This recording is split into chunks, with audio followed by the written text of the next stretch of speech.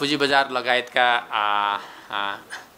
समस्याहरू छन् त्यसलाई पनि सर्वसाधारण जनतालाई कसरी उनको हितमा हुन्छ भन्ने बारेमा पनि हामी नीति निर्माण गर्नेछौँ।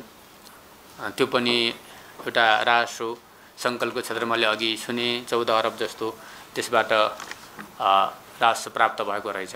त्यो पनि महत्त्वपूर्ण क्षेत्र ती सबै क्षेत्रलाई हामी समेटेर आगामी दिनमा तपाईँहरूसँग यस्ता कार्यक्रमहरू विस्तृत रूपमा गर्नेछौँ।